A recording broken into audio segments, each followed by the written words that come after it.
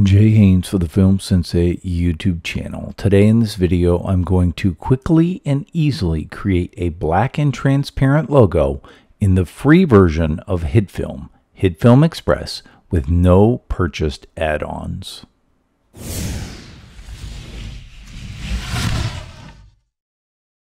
I'm going to start by creating a new composite shot and I will make this composite shot 1920 by 1920 but it can be really any size that you want it to be. I took a picture of my hand in sort of a zombie looking fashion so I'm going to start by adding the green screen preset to this and then I will go ahead and make a few adjustments just to make sure that it looks very very good.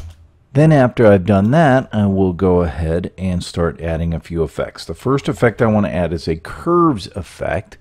Dragging this in, I want to just pull down the top and the bottom edges and then maybe add a little bit more contrast to that. I want to go ahead and desaturate it so I will use a hue saturation and lightness effect and just turn down the saturation amount in the master itself.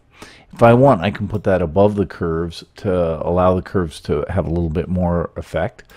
Then I will add a threshold effect and this will make it essentially either be black or white, but that's it, nothing else.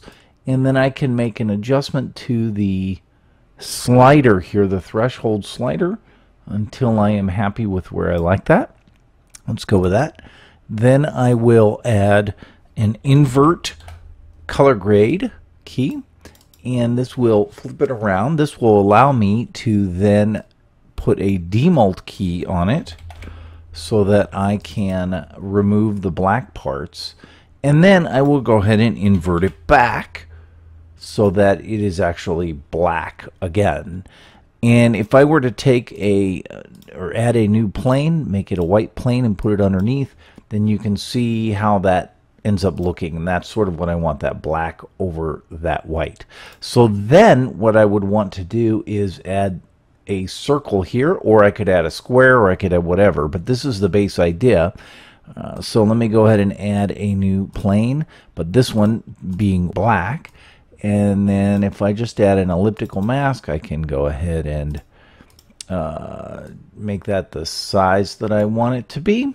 And then I can duplicate that, change it to a subtract mask, and then if I adjust the size of that, I can sort of create the um, circle.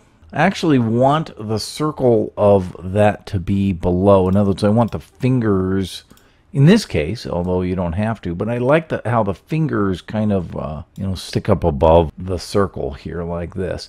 Then all I have to do is just remove this piece down here. So in this picture, um, which doesn't have a mask, I can just go ahead and add a circle mask to it, basically removing the bottom piece there. Uh, now, of course, I will leave that off and then I can export this frame, but I don't want it to be a JPEG because it will lose its transparency. So instead, I will use a PNG and I will change the channels to RGB and a, which stands for alpha, and that's it. Then I click OK, and I have that ready to go as my logo. So, again, I'm Jay Haynes for the Film Sensei YouTube channel. If you have any questions about this, please leave them in the comments below. Otherwise, feel free to like this video and subscribe to the channel. Click the bell icon for notification. And as always, thanks for watching.